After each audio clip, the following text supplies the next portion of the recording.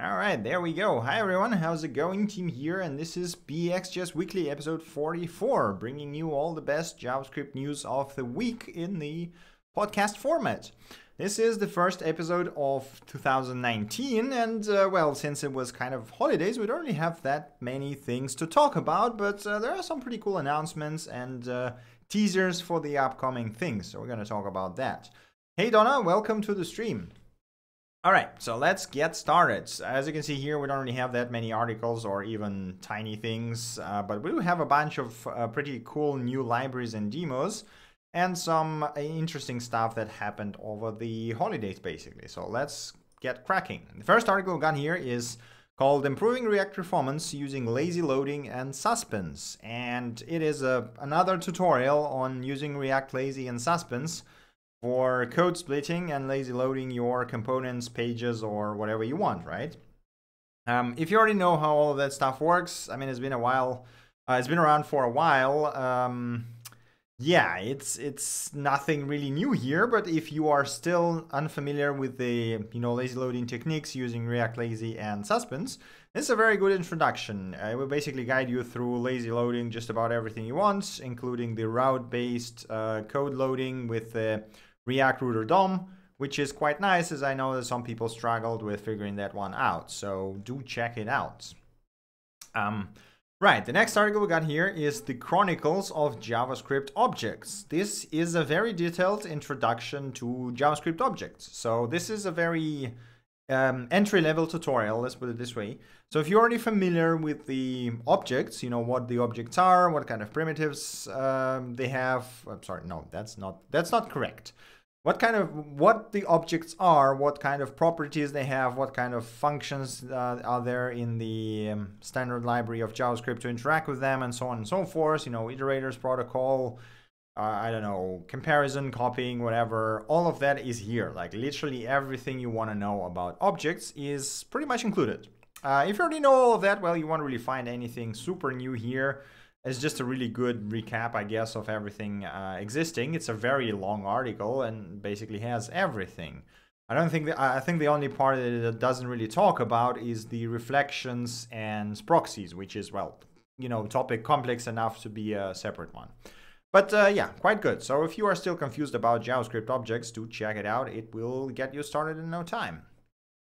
Next article we got here is infinite data structures in JavaScript. This one talks about, um, well, how to build essentially a small tutorial and then the uh, library that the author made. Uh, how to build an infinite data structure, specifically infinite lists, um, in JavaScript, right? So it's a, it's a really neat, uh, like if you ever worked with uh, functional languages like Haskell or Clojure or, well, just about any other functional programming language, you know that there, you know, one of the core concepts is the infinite lists that, or I guess lazy data structures that do not evaluate until you do something to them. So as in you have the take method, for example, that will only execute uh, on the first X entries, right? And this is exactly what the author aims to do here in JavaScript. Uh, hey, NoteBuff, welcome to the stream. And yeah, so the, this is the general idea of the infinite list, as in it's infinite and it can contain any number of objects. And the actual actions should only be performed in a lazy way, as in, you know, on, on objects that are required. Like, for example, if we do take 10, we only perform the any following actions on the first 10. So uh, the way it is achieved is through the iterator pattern. When you, you know, you can create the iterator and then iterate over it. You have the iteration protocol now. And then we combine that with the generators, which mean we can actually generate, um, well, pretty much anything, right? So in this case, there's, for example, the Fibonacci sequence generator. And um, after that, the author extends the whole thing to the lists, like the proper ones with the values and everything, and then implements the lazy execution of taking and mapping and everything, right? So it's quite nice. And as the result of the article is this lazy infinite uh, library, which, well, essentially just for the lists, but it is quite neat. So if that sounds interesting, do check it out. It I would say it's also a quite good introduction to the generators and iterators as well. I mean, you would need to understand the basic concepts of it, but uh, you know, on a deeper level, this is gives you a quite good uh, intro to them. All right, continuing, we got reactivity with RxJS, force press, implementing press and hold using RxJS. So it's, you know, as the title says, it's a pretty basic tutorial on how to do press and hold with, um, oh, come on. Do not freeze now. What, what? My Chrome just is, it, was it too much for my Chrome? Oh no. Oh, there we go. Okay. Now it works. I think it's because of one of the demos, which we'll come to later, that takes about one gigabyte in memory and eats the CPU like hell, but it's totally worth it. Right, so um, yeah, so this is how it works. Essentially, if you just press the button once, you will increment or decrement the value, and if you hold it, it will start, you know, counting. And the author shows you how you can implement this, first of all, using um, plain JavaScript, like vanilla JavaScript, right? It's not easy, like, you can do it, obviously, but it is a bit iffy, and reading this code doesn't really make it obvious what the hell is going on here. But um, then the author goes, okay, so we now actually have the RxJS, which is well better suited for something like this. And then he re-implements it using RxJS, and it is just way cleaner. So if you are curious on how to implement something like this, and you wanted a brief introduction to RxJS, because the author does goes through the code line by line and basically explains what each line does, which is very handy. And this is a really good introduction, so do check it out maybe you can implement the force press in your apps as well. So, and there's also the discussions for, uh, you know, linear, non-linear, exponential, uh, uh, what do you call it, time scaling, I guess. Uh, Donna, thank you very much for your donation. Uh, thank you for your continued support. Uh, but yeah, so it's, it's basically a really neat intro to what RxJS can do for you UI wise. I, as you might know, I'm a huge fan of RxJS, so do check it out. Quite highly recommend it. Next thing we got here is an um, article from uh, Dr. Gleb Bakhmutov, uh, who is now working on Cypress. And this is an article that is specifically talking about UI testing as an end-to-end testing. So if you've never heard about Cypress, it's an end-to-end testing tool. And the article is called Stop Using Page Objects and Start Using App Actions. Um, I honestly never wrote that many end-to-end tests and you know never had a project that was quite as large to be needing to do something like page objects but uh, apparently page objects pattern is very sort of standard thing in the UI testing. The idea is that you create a class or an object or whatever that is related to a specific page and then you create a page specific actions like, you know, find the username, find the password, and then like type username, type the password, and so on and so forth. So that when you write a test, it's actually just as simple as create a new page and then type username, type password, and then submit login, and then you expect something, right? Seems quite nice, but um, that means that you actually have to write those page wrappers every time, right? Which is, well, it, it adds an overhead and there's, there's obvious upsides and downsides to this, right? So what uh, Dr. Bakhmutov suggests here is that you actually, instead of writing the wrappers, you switch to, because as you know, as, as, as your test cases get more complex, you'll get a lot more overhead because you would have to define all those crazy commands and patterns that actually should do something, right? So he suggests going into, instead of using the models, using application actions, right? So this is the idea. And um, the idea is that application actions are straight up just functions, which is very much the sentiment that I like um, about functional programming. There was a, a pretty great number of talks, uh, including the like kind of, you know, funny, not a funny ones, sort of on a silly side saying that, hey, the functional programming is actually you just replace everything with a function. You know, we had classes and uh, object oriented. With now we have just functions. We had data. Now we just have functions, and so on and so forth.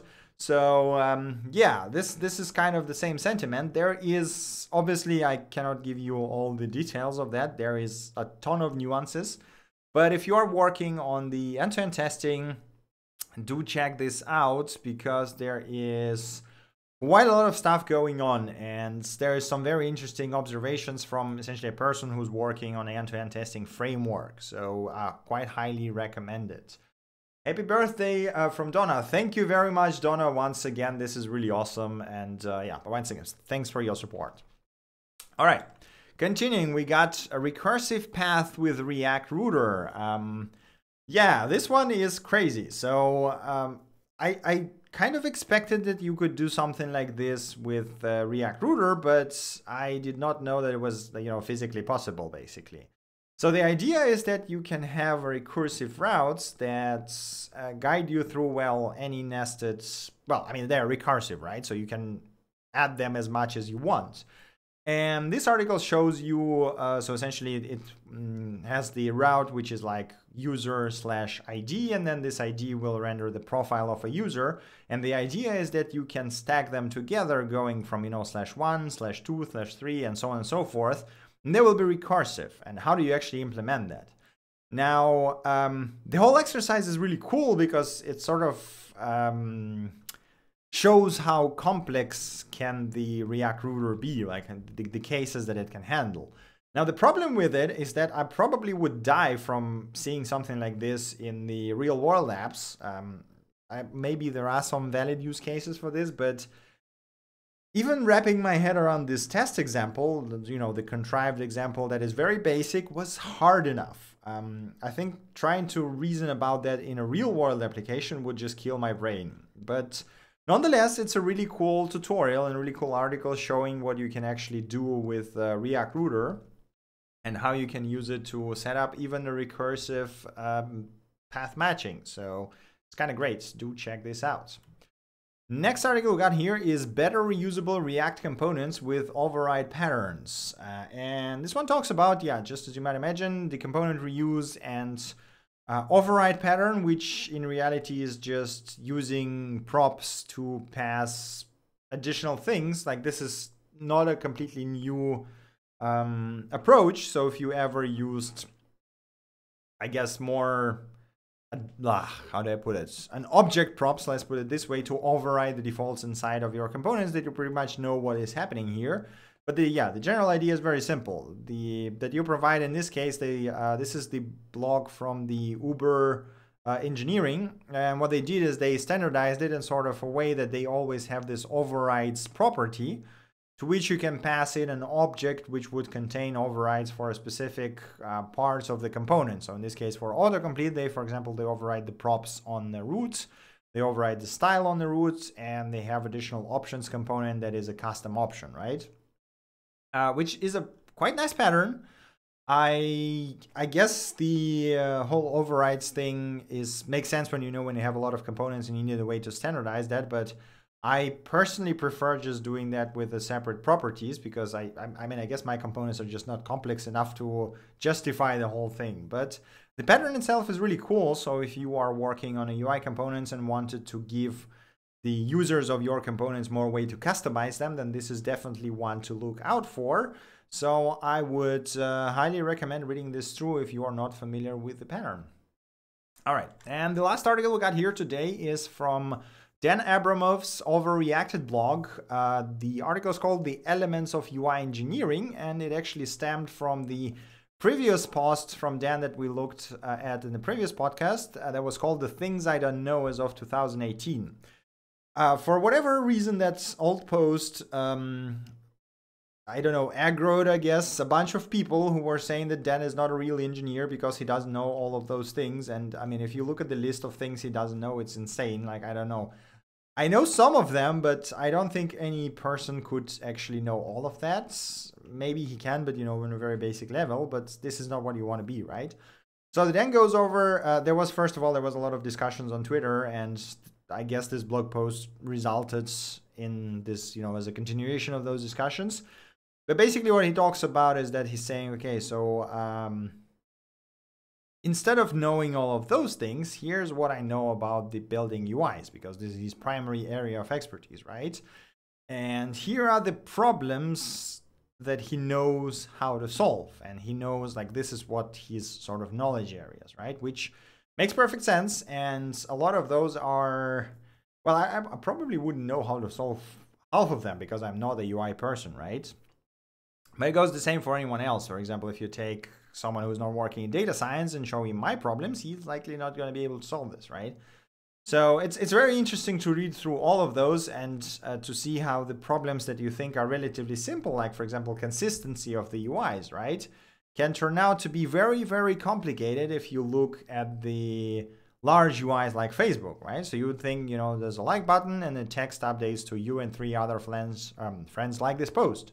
You think there's, okay, this is very simple, but um, as the Dan outlines, there might be like several places where when this visual indicator exists, or, you know, how do we handle navigating between pages and so on and so forth. And all of those problems, while the title seems, you know, relatively simple, responsiveness, latency, navigation, staleness, entropy, priority, accessibility, internationalization, delivery, resilience, abstraction. Like all of this is, uh, you know, something that we basically work with on a daily basis. But then I start reading about those tiny details that he outlines here, and you start thinking, okay, this is actually not as simple as I thought it was, which is absolutely fascinating and really cool to read about. So, yeah, give it a read. It's a really good um, think piece. Again, uh, if you're curious, look up at Dan's Twitter and see all the discussions going about things he doesn't know. It is kind of crazy, but um, yeah. Anyway, quite recommended. All right, I think that is actually it uh, for the articles. Now we got some tiny bit-sized awesome things. First one is this article talking about how Doomfire was implemented in the Doom engine. But in this case, actually, the author implemented it in JavaScript, so you can actually see the JavaScript code, uh, the very basic canvas that walks you through implementing this fire, you know, in a pixelated state, pixel by pixel, and animating it, which looks quite nice, actually, to be honest. So if you are ever curious how the graphics were done in an old school way, do check it out. I mean, the code is very trivial, but it's uh, pretty neat nonetheless. So do check this one out. Next thing we got here is the tweet from uh, Mr. Getify, uh, who said, I had some code implemented and fully tested, almost ready to release. Then I was writing the documentation for it and I realized the code's behavior is wrong and should be changed. Test-driven development wouldn't have saved me here. Docs are equally as important as the test in designing software. Um, I just thought uh, this this absolutely has been striking closer and closer um, to home for me, you know, as I build more complex things, especially more focused things, let's put it this way, because sometimes you start thinking about the software from, you know, the logic perspective, and then you actually start writing documentation describing how the others should use it.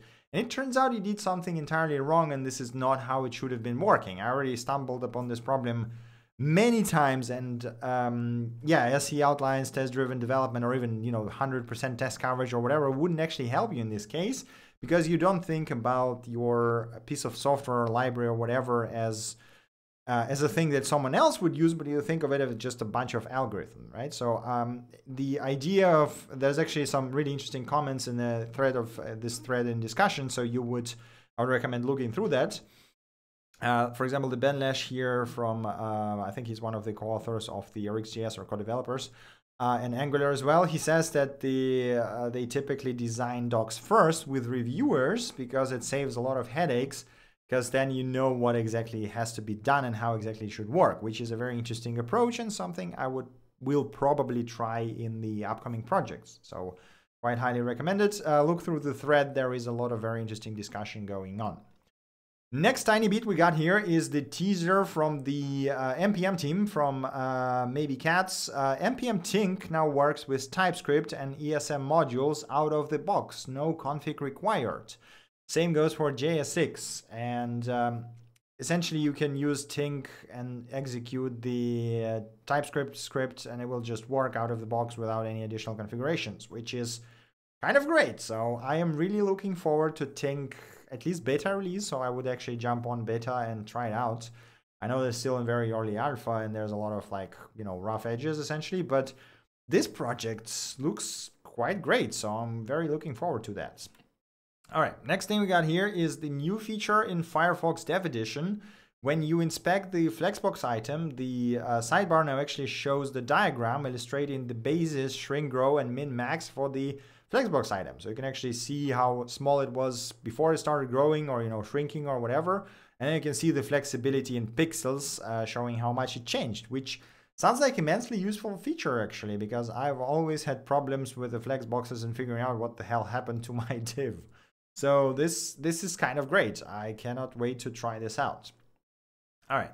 Next thing we got here is the Um, short thread that discusses the demo of uh, Angular Ivy based uh, server side rendering, uh, like up with the server side rendering, that actually went beyond route splitting. And when the app is server side rendered, you actually get zero JavaScript overhead. So there's literally no JavaScript served until you click on element that should be interactive. So that once you click on it, the element gets hydrated from the server, as in the JavaScript is fetched and you know everything is set up. Uh, which means that you will only load and execute the JavaScript that actually user actually wanted, which is basically next level of code splitting, right? So the very basic one is route splitting, and now we have the component splitting with automated hydration, which is insane. Um, there's also Addy Osmani here in thread saying, okay, it will be really cool to look at that and then uh, do low priority prefetching JS that is needed to, you know, minimum interaction to minimize perceived latency, which sounds even better. So I'm kind of excited to see where all of this goes because getting websites that render without JavaScript at all and then load JavaScript once you want to interact is freaking amazing. And I'm honestly all for this. So it's kind of kind of great. Now there's a code with a demo if you're interested. So it uses this Angular Ivy engine, the new one. I don't I don't remember if they actually released it or not, but so the code is open source. It's a very early built and contrived example, as the author says, but uh, very interesting nonetheless. Do check it out. All right. Next thing we got here is uh, enabling dark mode on websites based on surrounding light. Uh, it's essentially a very small snippet of code that shows off a feature that I didn't know existed. So apparently you have, uh, from the browser, you have access to ambient light sensor API that allows you to detect the lighting, you know, from ambient sensor exactly. So you can actually switch your um, theme, like a lot of mobile apps do, from dark to light uh, just by using some JavaScript and do it on your website, which is kind of neat. So if you ever wanted to do that, do check it out. It's kind of cool. I am not sure about the supports. Oh, there's a can I use link, which is always handy. Um, I'm guessing it's to be supported. Well, okay, it's not very well supported actually. It seems like it's literally only supported in Firefox for Android and is behind the flags in Chrome, which is a bit sad, but still kind of neat that this API exists. So do check it out. I mean, it's it, it has the W3C spec, so I assume it's gonna come. Uh, editor's draft, yeah, so it's probably gonna come to the browsers in the near future. Um, pretty neat nonetheless. All right, now we have the releases section. There's literally just one release this week rounds. Again, you know, Christmas and New Year and everything, people weren't really doing much, but uh, there's actually a surprising amount of content this, this week as well. So I'm um, actually quite amazed. So Mr. Getify here released the version 4 of TNG hooks like React hooks, but uh, for non-React functions. And there's now a use effect hook. So uh, I think that actually brings it to all the hooks that you have in React, but for normal functions, I still don't know why would I use that anywhere, as in, you know, I just hadn't had a use case for it, but maybe you do. So do check it out. It is quite neat. Uh, and the fact that it exists just, you know, makes me very happy for some reason. All right. That is it for releases. Now we are coming to the uh, libraries and demos section. And the first one I want to highlight is the Game Off 2018, the game competition hosted by GitHub that happened in December.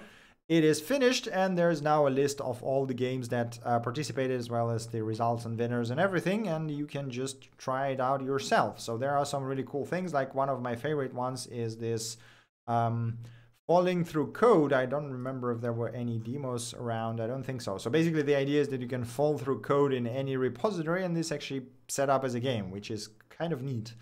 And a lot of people complain that the um, license disclaimers on top uh, actually break the game because they are too long. but it is kind of neat. So if you are curious about, you know, what can you build in one month uh, to compete in the game jam, do check it out. There are some really cool things. Right, next one. This is probably my favorite demo of the week. This is a Doom 3 demo. So this is not a full Doom 3, but just a demo of it, but it's still, you know, the same source code. So if you didn't know, the source code for Doom 3 is published on GitHub. And the Doom 3 demo assets are also available um, under the, well, kind of permissive license, I guess. So um, some crazy person took Doom 3 and compiled it to WebAssembly. So what you see right here is Doom 3, like the complete game, running in my browser. And um, I can literally click a button. It's it might hang for a bit, like it does. It's a ton of RAM. It does requires a very powerful CPU, and I think it uses WebGL, so it's not you know not that impactful to uh, GPU. But you can play Doom 3 demo in your browser with the mouse locking and everything. And there's like the music. So I disabled the sounds for now, obviously, so that, you know, it doesn't distract us. But all of that stuff is actually working. Um, it's not the old game, as I said, so you cannot legally do that. But the demo assets, is in, I think it's like first two levels or something. They are available uh, for free to everyone. I, I think it's like, you know, attribution license or something. So basically, the author just took the assets and rebuilt the engine, and uh, there you go. And and you know, it's it literally works. It work. You can you can do everything. Like you can you can talk to people. You can run around, and the FPS. I mean, it's not terrible. Like um, the only problem is that. Uh, the Doom 3 looked really good because they had some crazy shaders uh, going on around, and the problem is those shaders don't really translate that well to WebGL. So uh, what you see here is that some there are some minor issues with lightning and uh, you know it doesn't look as impressive as the original games because the shaders are not actually um, translated properly, right? So because I, I guess it was like a weekend project or something, but even the fact that I can launch my browser and play a Doom 3 in it without you know installing anything or whatever is just blowing my mind. Yes, it is WebGL and WebAssembly essentially, which, I mean, just look at this stuff. All of this is working without any, like there's even cutscenes and stuff. It is insane. Uh, yeah, you can try it out yourself. So it basically requires any browser with WebAssembly. And that's basically it. Um, I think it will probably work on some very beefy tablets as I said, the main problem with it right now is that it actually requires, yeah, 1.2 gigs of RAM because it has to load all that stuff in and it eats 100% of my pretty beefy CPU. Actually has a console in it as well. Holy crap. I did not know that. Okay. But yeah, it's it's very impressive and very cool. So if you're curious, do check it out. All right. Next demo we have here is also quite awesome. Uh, it's called rrweb, uh, record and replay the web. And it's a tiny tool that allows you to, well, record and replay web. Uh, you might be wondering what the hell is that? And, uh, well, uh, let me, where was the demo for it? Wait a second. There was, uh, yeah, that was the, uh, wait a second. There was a very impressive thing somewhere that I clicked last time. And it literally had, was it on this page? Wait a second. Or was it the, no, that was the conversational form Tetris game. God, where did I, was it there a web no. Oh, is it because my screen is too small? No, that's also not, okay. But basically the idea is that you can actually record any actions you take on the web and then replay them interactively. Um, so here, for example, I think it, yeah, I think it's breaking a bit because of my scaling in the browser. So the thing is that last time uh, here, I had, um, let me refresh it maybe, maybe it just realigns itself. So when I tried it on the full screen, it actually worked way better. So I'm not sure, I'm not sure why is it all broken up right now. Let me try to, you know what, let me try to maybe drag it out a bit like this. Uh, so chat, sorry, will not see it for a second, but um, yeah, okay, so there seems to be something uh, wonky going on with my browser. But the idea is that it actually replaying the actions that user took, right? And the cool thing is that what you see here is an actual page that you can interact yourself. So you not just see the actions, but you actually see the stuff happening in real time and you can uh, interact with it. Um, I'm not sure what happened to the... I, I saw the example that was working for me just before the podcast, but either they changed the website or there's like, I don't think my ad block is blocking anything. Maybe, maybe this. Ah, there we go. Okay, now it works. Right, there you go. So this is the replay. Um, okay, wait a second. Let me just realign the thingy over. No, come on. Go. So this, this what you see here, right, is um, the replay. And it shows you the GitHub. So the cool thing is this is the actual GitHub. So I can actually click on this and it will open it in a new tab. If I click play, it will play the actions and show the stuff. And again, I can pause it at any moment, click on something, and it will open in a new tab because what you see right here is a full page, which is insane. So um, it's a really impressive bit of tech. And if that sounds interesting, I would highly recommend checking it out. All right. Continuing, we got next thing. Uh, the Facebook just open sourced their JavaScript inter this word is killing me. JavaScript internationalization framework uh, called FBT. Uh, it's obviously, as you might imagine, built for uh, React, but I think you can also use it for the other things. Uh, but yeah, um, I mean, basically, it's just you know another Intel framework. This one is used in React. Oh, sorry, in Facebook internally, which is kind of you know says a lot about the um, usability and application of this one. So if you are doing something with Intel, do check this one out. Maybe you like this more than what you're currently using. It comes with uh, Babel plugins and Babel runtimes. Also has all the tools that you would expect to see in the intranslation framework, including the automated uh, automated extraction of the translations, and translating and cleaning and all basically there's like a lot of uh, related tooling.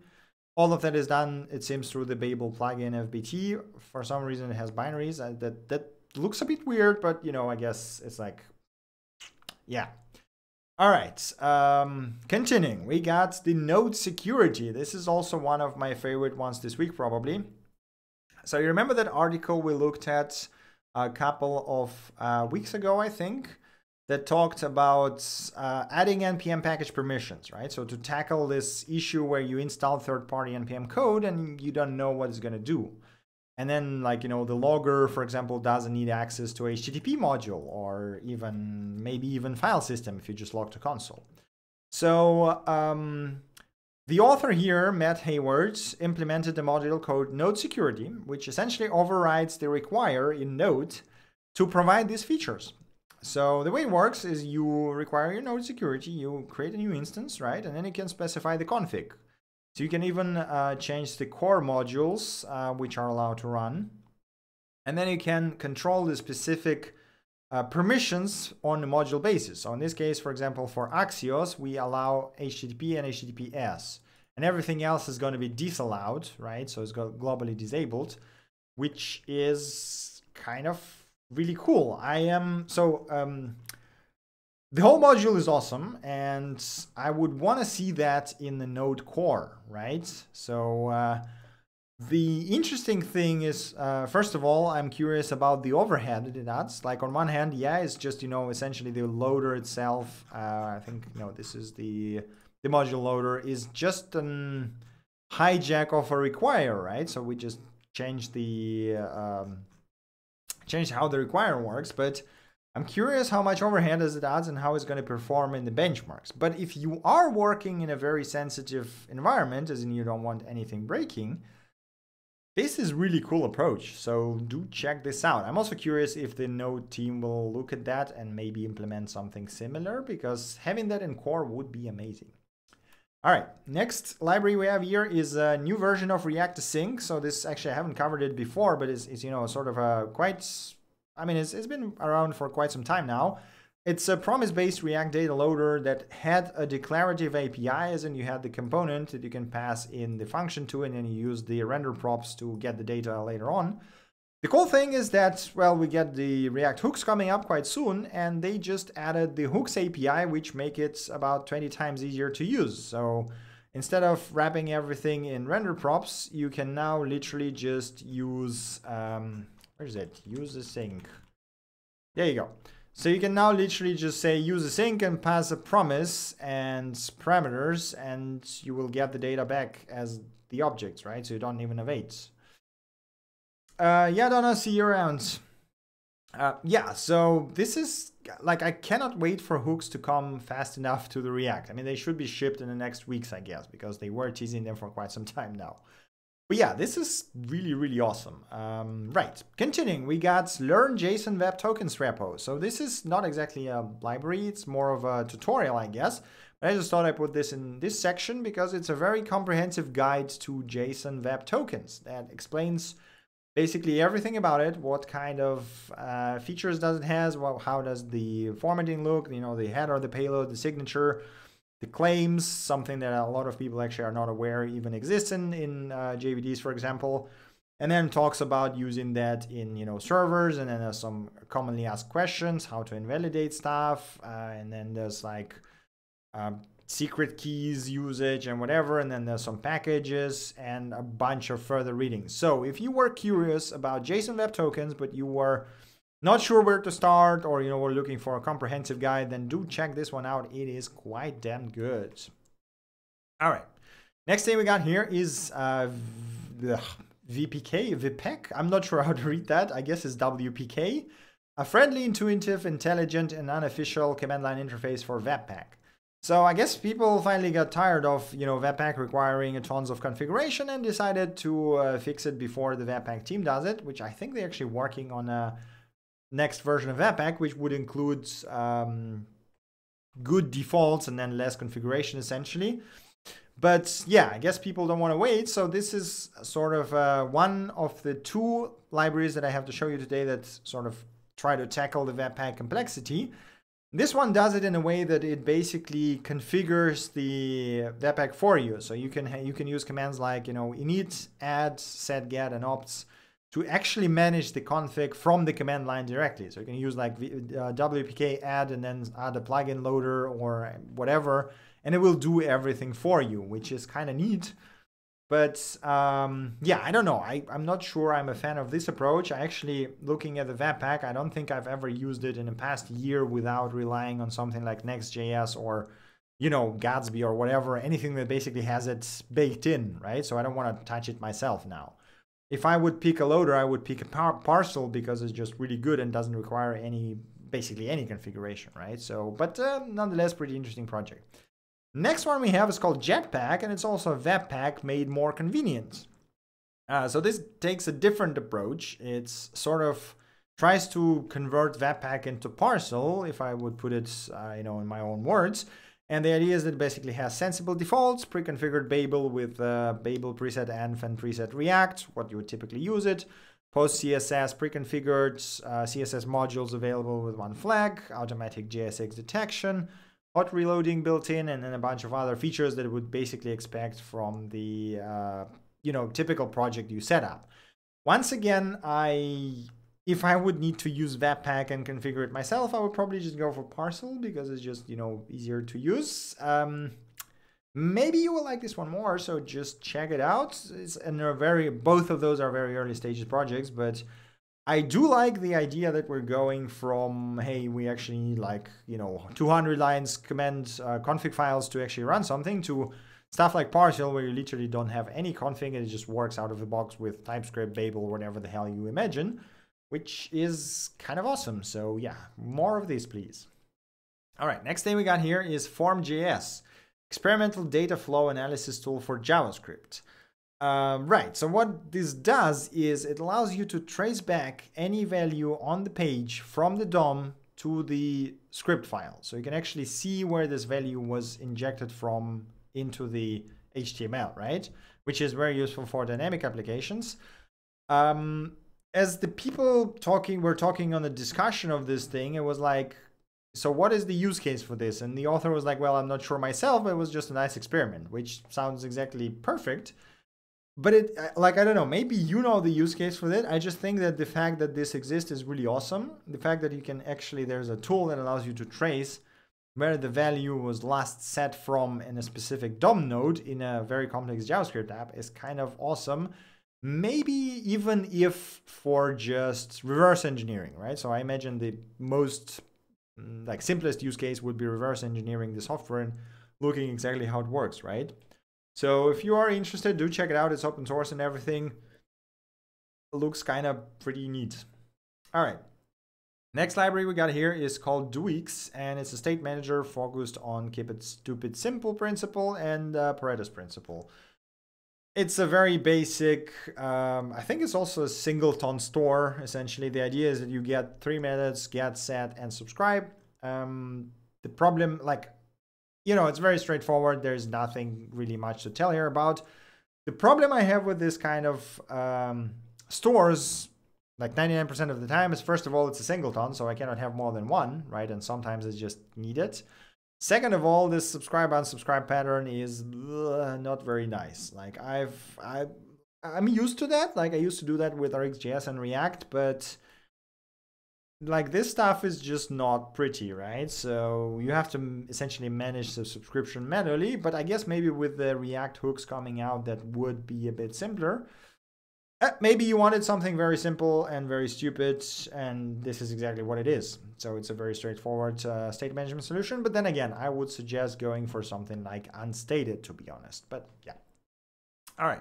Next thing we got here is Material UI System, the new release from the Material UI team. Uh, I think this is the guys from Google, if I remember correctly. Uh, yes, it is Google. No, wait, this is actually React Components for Material. Okay, so I'm confusing them. So this is the material components for React, and they just released the Material UI system uh, sub package, I guess. And it's a bunch of style functions that allow you to build your own powerful design systems. So the idea is that you know you're not always want to use exactly what is given, and then modifying the styles for existing UI components can be a pain in the ass.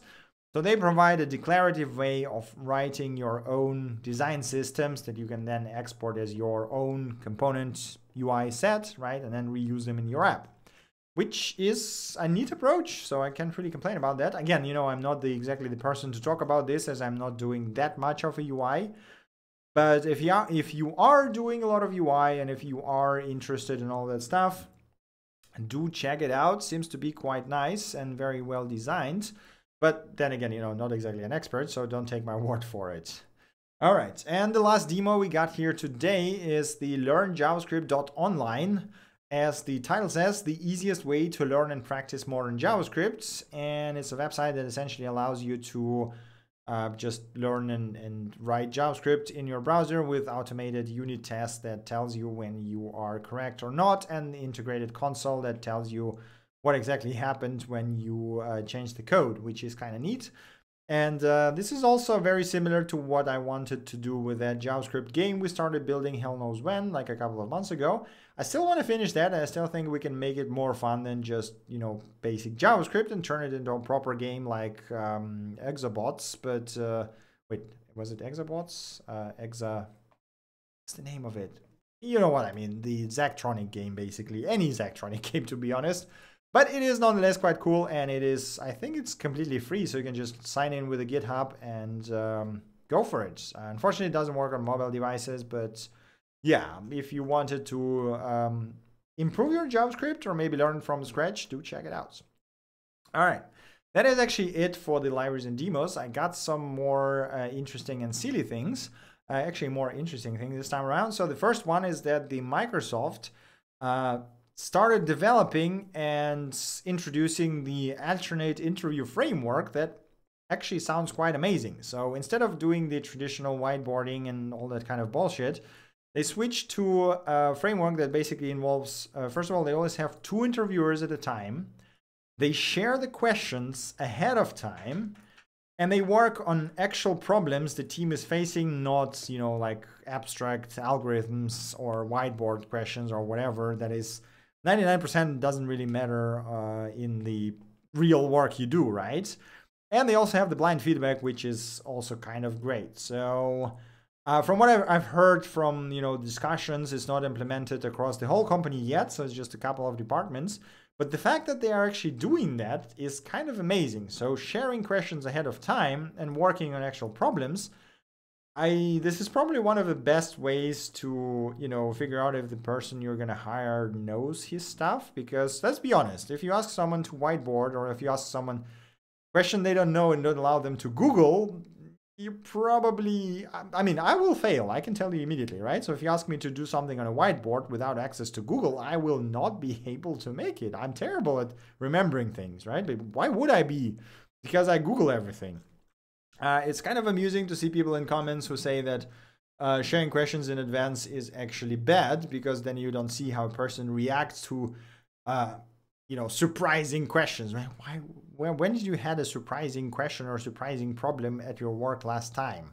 Unless you're working in research and development, then it's a completely different question, you know. But it's like yeah, some weird stuff going on. But uh, it's it's really cool. So I would want to see more companies uh, doing that because this sounds like a really cool way of uh, testing the candidates. Actually, I would want to also see the more detailed write up, maybe from someone at Microsoft, on how exactly they do that, and maybe even detail and publish the framework itself so that other companies can reuse that.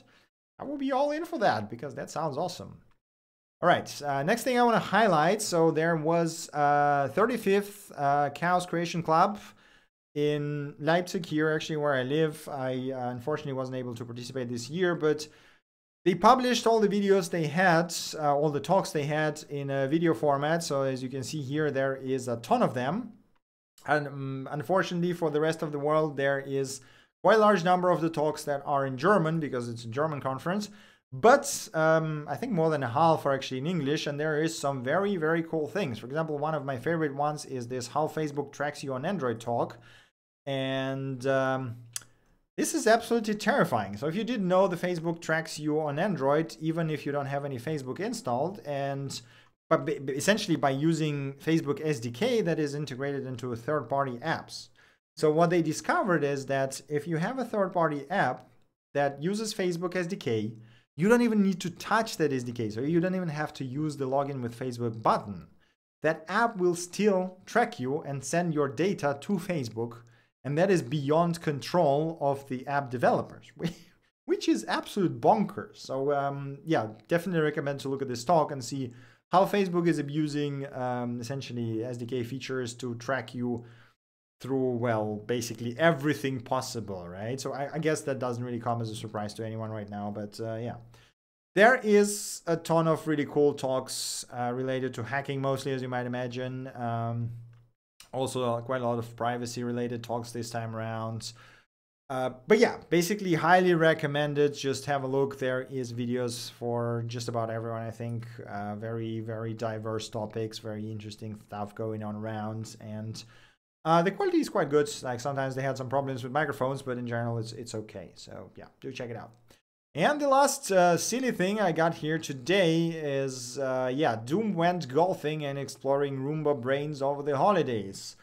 Um, apparently for, for some reason, so yeah, Doom is turned 25 years uh, last month, and for some reason it's kind of getting the new life um, through the mods. Like, uh, yeah, Doomba is the one that I highlighted uh, last time, right? When you can actually use Roomba to map your house and then play a Doom there, right? To make it into a Doom map, which which is silly as hell, but man, I really want to buy Roomba just for that, just just to play Doom because of this shit. This is great. Uh, apparently, there's the Hellshots Golf multiplayer mod, multiplayer mod that allows you to play golf in Doom. There is as well. Um, I've recently read about the mods for Doom that recreated uh, Metal Gear Solid in it and it's crazy what people do with a game that is 25 years old. So if you're curious to check it out, there's like a bunch of links here to uh, five or six different mods that are just as crazy as Doomba basically, and just as crazy as the Hellshots Golf. So yeah, check it out. It's, kind of cool.